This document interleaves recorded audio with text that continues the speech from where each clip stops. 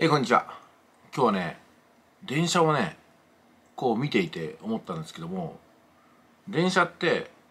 こう乗ってる人と外からその電車がこう走ってるのを見てる人っているんですよね。で外から電車がズバーッと走ってるのを見てると早くってねもう何が起きてるのか分かんないんですよ。電車の中にいる人がどんな人でどんな服着てきて何人ぐらいいるのかなとかね。どんな動作してるのかってほとんど見えないんですよね。で電車の中にいると止まってる人っていうのはねよく見えるんですよね。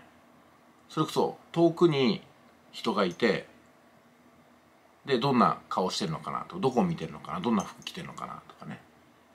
まあ、指は何本かなぐらいまで見えるんですよ本当に、まあ、指は5本でしょうけどね。でも不思議なことにこれ相対速度ってどっちも一緒なんですよね。どっちも同じ時間軸の中を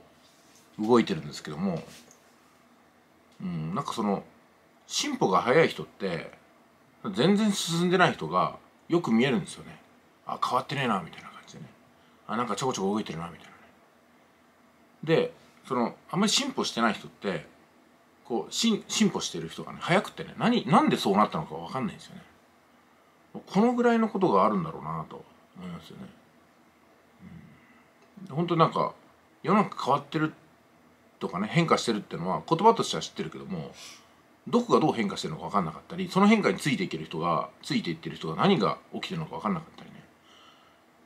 なんでそんな思考になってるのかとかなんでそんなに時間があるのかとかね。いつの間にその能力身につけたのかとかって全然分かんないですよね。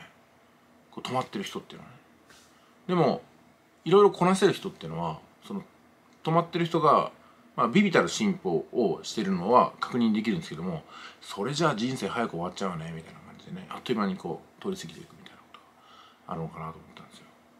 うん、各いうね私も別に電車の中に乗ってるとは言わないんですけどもただ電車の外から眺めてるわけでもないなとかね思うとまあなんぼかね電車には乗ってないかもしれないけど、うん、自転車ぐらいで乗ってるのかなってことですかね。この電車の例えっていうのは多分他の場面で使うと思うんですよ。あの動いてる人は止まってるもしくは止まってる同然の人がよく見える。止まってる人ってのはもう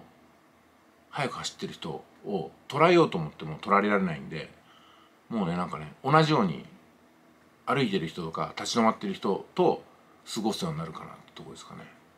でもほんと不思議ですね。電車と電車を見てる外の人って相対速度同じなのに